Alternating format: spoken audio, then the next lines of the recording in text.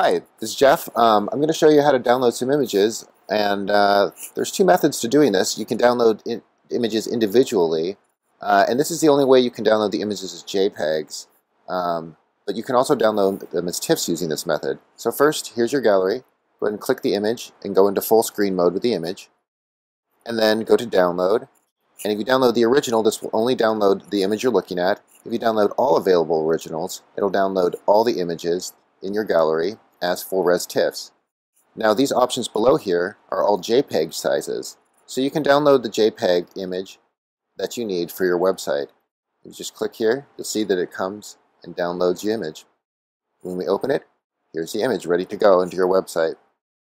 The second method is to, is to use download all available originals from the gallery page.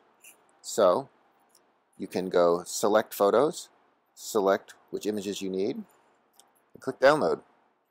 And the images download as a zip file as full resolution TIFF files ready to be resized.